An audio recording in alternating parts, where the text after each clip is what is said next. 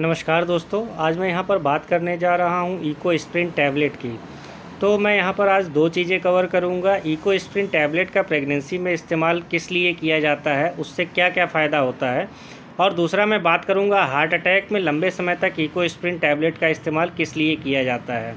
Friends अगर ये video आपको पसंद आए तो लाइक एंड शेयर करना बिल्कुल मत भूलें।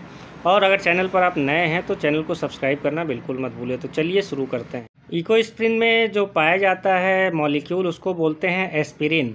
तो इसको एन एसिटाइल सैलिसिलिक एसिड भी बोला जाता है।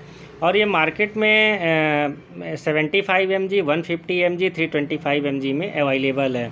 अब सबसे पहले हम बात करेंगे कि प्रेगनेंसी में इसका इस्तेमाल क्यों किया जाता है। कब तक किया जाता है और इसका आउटकम क्या होता है? इको स्प्रिन में जो मॉलिक्यूल पाया जाता है, एस्पिरिन उसको ब्लड थिनर भी बोला जाता है और ये आपकी बॉडी में ब्लड के फ्लो को बढ़ाता है, यानी गाढ़े ब्लड को जो है पतला करता है। अब जो एस्पिरिन होता है, उसमें दो तरह की प्रॉपर्टी पाई जाती है। पहली प्रॉपर्टी होती है एंटी प्लेटलेट्स, यानी ये प्लेटलेट्स प्लग फॉर्मेशन को बनने से रोकता है। दो और जो दूसरी इसमें प्रॉपर्टी पाई जाती है, वो एंटी इन्फ्लामेटरी प्रॉपर्टी पाई जाती है। तो ये क्या करता है कि नसों में सूजन को भी कम करता है। अब जब ये दोनों चीज़ें कम होती हैं प्लग का फॉर्मेशन नहीं होने पाता, यानी रक्त का थक्का नहीं जमने पाता है और सूजन नहीं होती नसों में तो इससे क्या होता है कि नसों में जो है खून का प्रवाह, यानी ब्लड फ्लो जो है, वो अच्छा बना रहता है। अब ये प्रेगनेंसी में क्यों दिया जाता है तो मैं उसका रीज़न बता देता हूँ कि पहले क्या बहुत सारी लेडीज़ ऐसे होती हैं प्रेगनेंसी में जिनको हाई बीपी या फिर हाई शुगर या फिर और कई सारी बीमारियाँ होती हैं। उनमें ऑलरेडी जो खून की नसें होती हैं, उसका जो सबसे अंदर का लेयर होता है एंडोथेलियल उसको बोला जाता है। तो वो इन बीमारियों के कारण जो है एंडोथेलियर की जो लेयर होती है, वो रप्चर हो जाती है, यानी कई कई जगह से टूट जाती है। रप्चर नसों के आसपास कोलेस्ट्रॉल और प्लेटलेट्स के जमने से जो है, प्लेग का फॉर्मेशन, यानी थक्के का फॉर्मेशन हो जाता है। और जब एक बार थक्का बनने लगता है तो उसके बाद ब्लड का फ़्लो जो है, हैम्पर होता है। ब्लड का फ़्लो सही से नहीं हो पाता। तो इकोस्प्रिन की जो टैबलेट होती है, वो प्लेटलेट्स को इकट्ठा नहीं होने देती, उसको प्लेग का फॉर्मेशन नहीं करने देती है। जिससे कि जो है, प्लेग का फॉर्मेशन ना होने से ब्लड का फ़्लो प्रेग्नेंट लेडी में अच्छी तरह से बना रहता है। मदर में अगर ब्लड का सर्कुलेशन अच्छा है तो वो जो है, बेबी में एक प्लेसेंटा होता है। प्लेसेंटा से होकर जो है, ब्लड बेबी में जाता है। अगर ब्लड का फ्लो अच्छा नहीं है, ब्लड में सही से ऑक्सीजन की सप्लाई नहीं है, ब्लड में सही से न्यूट्रिएंट्स की सप्लाई नहीं है तो उसकी वजह से जो है, बेबी का ग्रोथ जो है, सही से नहीं हो पाता। तो जब एस्पिरिन टैबलेट का इस्तेमाल किए जा किया जाता है तो रक्त में थक्का नहीं बनता है ब्लड का फ़्लो सही रहता है और जब ब्लड का फ़्लो सही रहता है तो जो भी ऑक्सीजन या न्यूट्रिएंट्स हैं ब्लड में वो अब सही क्वांटिटी में बच्चे तक पहुँचते हैं प्लेसेंटा से होकर, जिससे बेबी का ग्रोथ भी अच्छा बना रहता है। तो प्रेगनेंसी में इसलिए इको स्प्रिन टैबलेट का इस्तेमाल किया जाता है।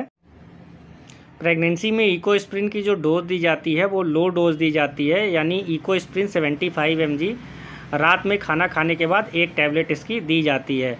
और ये जो है चौंतीस हफ़्ते तक दी जाती है, यानी प्रेगनेंसी जब से स्टार्ट होती है और लगभग आठ महीना पूरा हो जाता है, तब तक इसको दिया जाता है।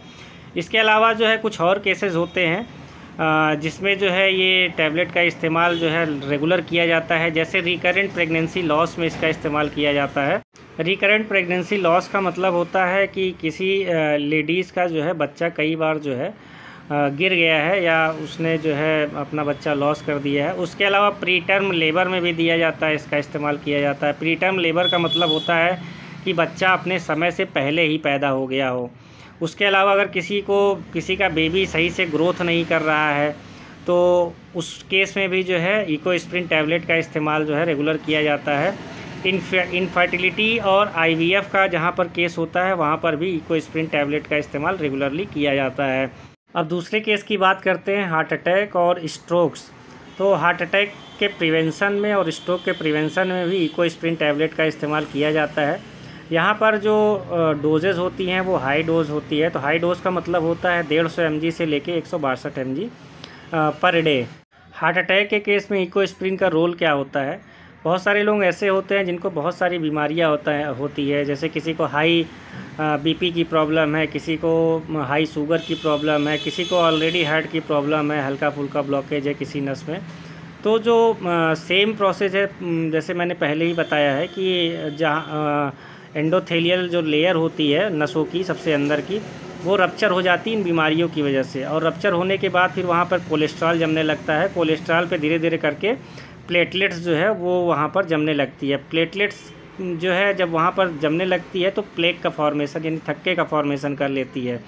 और अगर किसी को ऑलरेडी हार्ट की हार्ट की बीमारी है, कहीं कहीं हल्का फुल्का ब्लॉकेज है तो वहाँ पर जब ये प्लेटलेट्स जो है, वो अपना इकट्ठा होने लगती हैं तो वहाँ पे एकाएक पूरी तरह से नसें ब्लॉक हो जाती हैं, जिससे हार्ट अटैक हो जाता है किसी को और व्यक्ति जो है हार्ट अटैक की वजह से उसकी डेथ हो जाती है। तो इसमें क्योंकि दो प्रॉपर्टी पाई जाती है एक तो प्रॉपर्टी पाई जाती है एंटी प्लेटलेट्स यानी कोलेस्ट्रॉल पे ये प्लेटलेट्स को जमने नहीं देता है और दूसरा जो है इसमें जो है एंटी इन्फ्लामेटरी प्रॉपर्टी पाई जाती है तो ये जो रप्चर जो एंडोथेलियल की लेयर होती है, ये उसको भी ठीक करता रहता है। इससे क्या होता है कि जो ब्लड का फ्लो है, वो अच्छा बना रहता बॉडी में अगर ब्लड का फ्लो अच्छा बना रहता है तो उसकी वजह से जो है हार्ट अटैक की प्रॉब्लम जो है काफ़ी हद तक प्रिवेंट हो जाती है। दूसरी स्ट्रोक की प्रॉब्लम भी काफ़ी हद तक प्रिवेंट हो जाती है।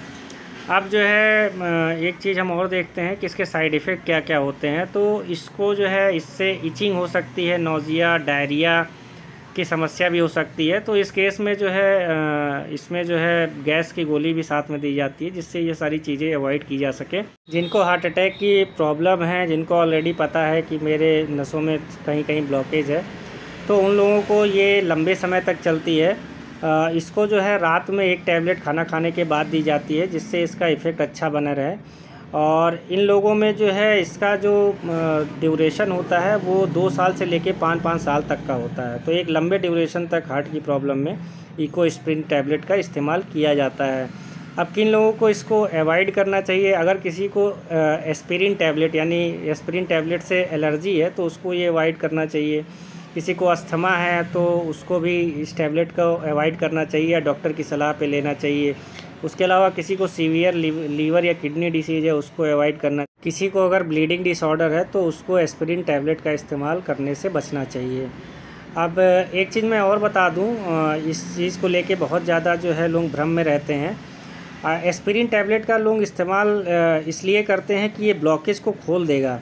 जी, ऐसा बिल्कुल नहीं है। एस्पिरिन टैबलेट जो है, नसों में ब्लॉकेज को खोलता नहीं है, बल्कि अगर कहीं पर नसों में ब्लॉकेज स्टार्ट हुई है तो इस ब्लॉकेज को बढ़ने नहीं देता है। तो ये सारे यूज़ होते हैं इको स्प्रिन टैबलेट का प्रेगनेंसी में और हार्ट अटैक में।